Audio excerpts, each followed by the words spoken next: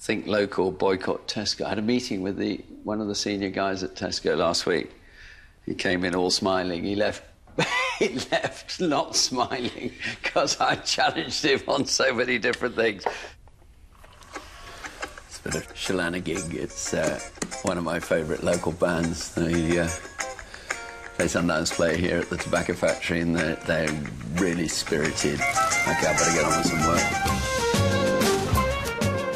I listen to reason. I don't listen to rant. Listen, Mr. Ferguson. No, no, no. I'm not anti-car. I'm just pro-people. I think you have insulted and patronised people. Absolute rubbish. I want to do is listen to the quiet voices. I think your dress and your red trousers are now beyond a joke, and you're degrading Bristol.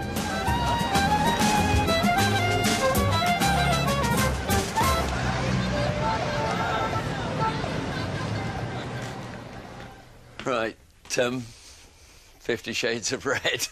I was at a dinner last night. There's my uh, dinner jacket, trousers.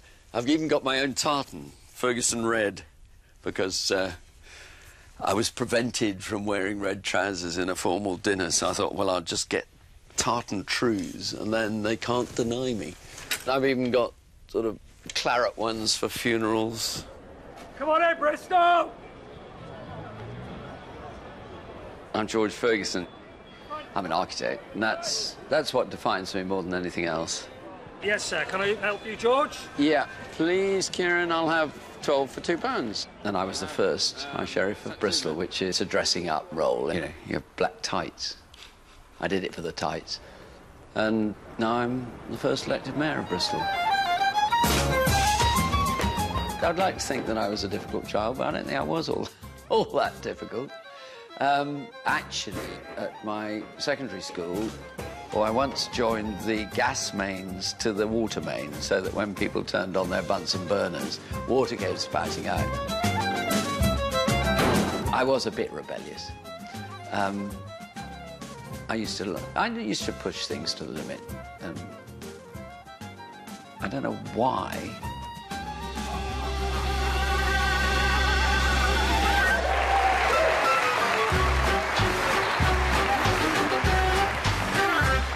This, I hope, is the beginning of some real change in Bristol. I think the decision to stand for mayor was a slightly bonkers one in terms of what was likely to happen. And that change is about having a completely different attitude to the governance of Bristol. One that doesn't look to the parties and what they want, but looks to the electorate and what you want. The big established parties, they had all the advantages. They had all the electoral knowledge, they had all the, the helpers, they had funds, and I had none of that. So it was balmy in a way. But I do believe in the practice of the impossible.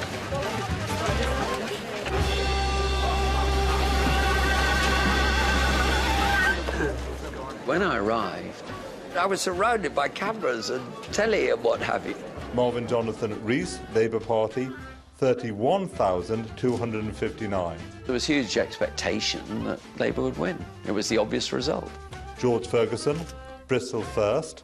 I just realised that I was probably going to do it. 37,353. Suddenly I found myself in just a new, it was a new world. I therefore give notice that George Ferguson is duly elected as Mayor for the City and County of Bristol.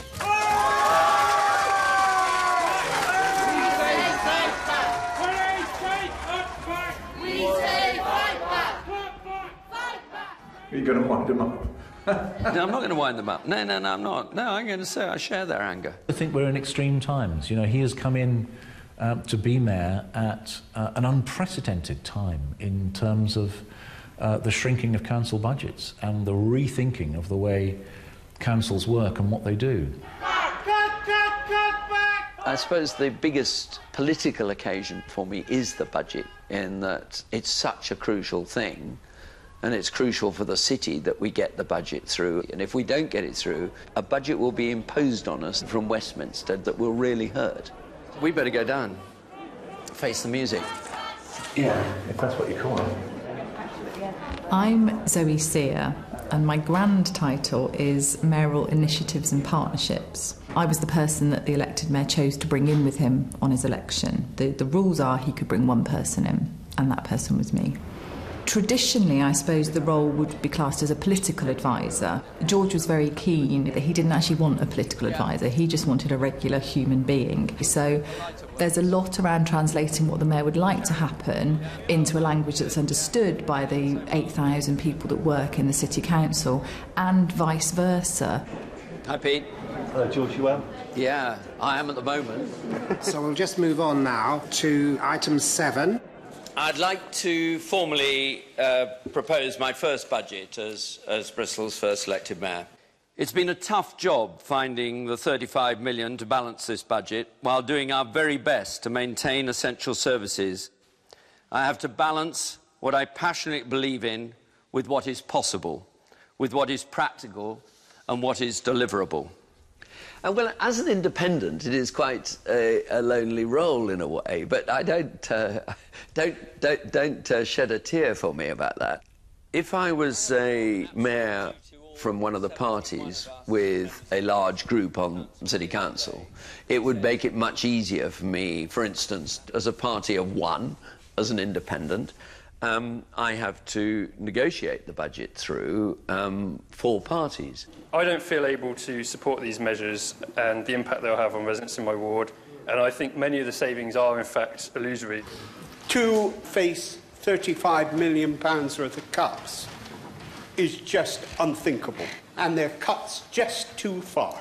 As Labour councillors, we cannot accept that the government should be visiting this huge level of cuts, and so we will be abstaining from the budget.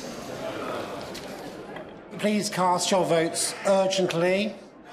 Uh, I declare the budget as amended for 2012-13 passed. Thank you. Good. Done it. We're in the clear. I have to say that I'm, I think that I have more friends than foe on the council, and it could have been a lot more contentious. Well, that's a relief. Got that over with. There's a lot of work to do there. Well, we're in the Brunel Buttery on the um, south side of the old city docks and all life is here. It's a very democratic spot. There's nothing pretentious about it. Um, it's a special place for me because you can sit here and see so much of Bristol and so much of my personal history as well. I arrived in Bristol in 1965. In 1966, I bought a little house in Clifton Wood for £900. Seems so ridiculously cheap. But they were going to demolish that hillside. So I started a campaign to keep the hillside. So immediately I got very involved with the city. That was in the 60s. In the 70s, I got involved with a gang of people who decided that we should buy the cranes back off the scrap merchant that the city had sold them to. So we saved the cranes. And with the proceeds of selling the cranes back to the city, which we embarrassed them to do, we bought the first yellow ferry. If you can make a difference to people's lives, it makes your own life so much more worthwhile, and there is nothing more worthwhile than being able to do that through being a mayor of the city that you love. Morning, all. Morning. Morning. We've got a long agenda, so let's get going as quickly as possible. I think George has handled remarkably well coming into what is a, an alien environment. If you think of him as successful businessman who's always dealt with business people, for him to come into what is a very staid, process led, rather slow moving organisation, I think uh, was always going to be a challenge. Anything else in the remaining two minutes? George gets frustrated at the lack of ability to do things really quickly. We get, you know, six or seven ideas a day. You have to follow his Twitter to find out what, it, what he's thinking. Right. Jason, Bedminster bid. It is a real culture shock for the establishment of the council to suddenly have this tornado come in and say, well, actually, I'm only here for an hour, so we've got to get it sorted quickly. Thanks, Andrew. Brilliant. Okay, great. It's something which has been quite interesting to watch. I mean, I've given you four minutes, and I did make it clear that it was three minutes. I find this most regrettable. You didn't turn up for the scrutiny commission. I was not. I was not. I'm sorry, Councillor Hopkins. It's the first time I've been aware that even I was expected at that Friday meeting. Councillors feel that they're now rather second-class goods. I think he's sad about that, but nevertheless, that's inevitable when you concentrate power in one person. I, I have a job to do running this city, and people should know that. Sit Uh, down we, now. We, we have okay, just a few thank you. more points that were made by No, the no. All-Party Scrutiny You- you Commission. can- Do you wish to hear them or not? I'm sure I will hear them later. Thank you very much. Okay. Okay. Anyway, uh, Yes. we should do the formalities. Yeah, Welcome okay. to Whitchurch Park Ward, the best ward in Bristol. Thanks, Ti- thanks, Tim. Yeah. Okay. I'm not going to argue with that. Well, I think as the mayor holds all the executive power, he represents all of the people of Bristol. It's quite important he does get around the city. Hello, I'm George, the mayor.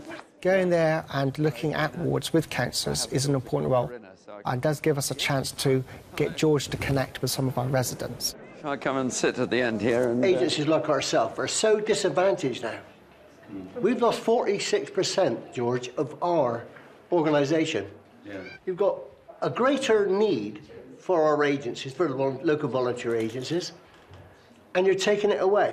I mean, you know the bigger picture that we had saved 34 million out of last year's, out of this year's budget, rather, this coming year's budget.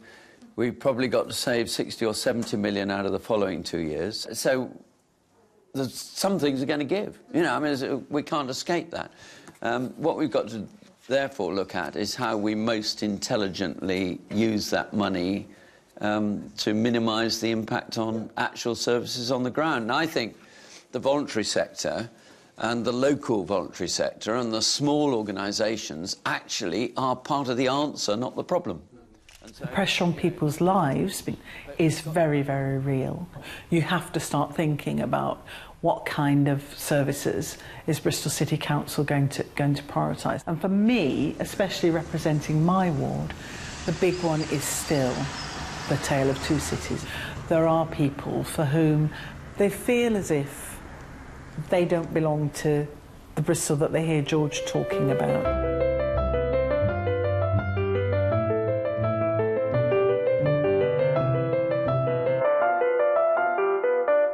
So Bristol applied to be European Green Capital in 2015 and there's a two-stage process. You make a technical application on a range of different subjects like energy, waste, transport and a shortlist is created.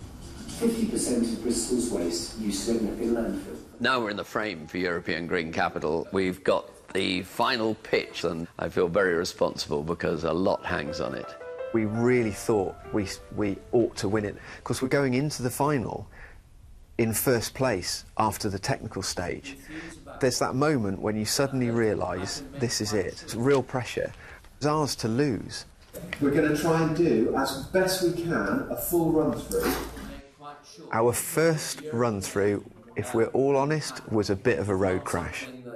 People think uh, that, that it's not that, that European Green Capital is. George just hadn't had time to really think about what it was that he really wanted to say. You learn the most in your first practice. So, plan is to try and do a complete run through. As per usual, It kicks off with Graham. Graham absolutely kicks off. So I'll be Graham. Yep. Is that all The film go first and then Graham. No, Graham, then the film. Oh right. I need slides then. Hmm.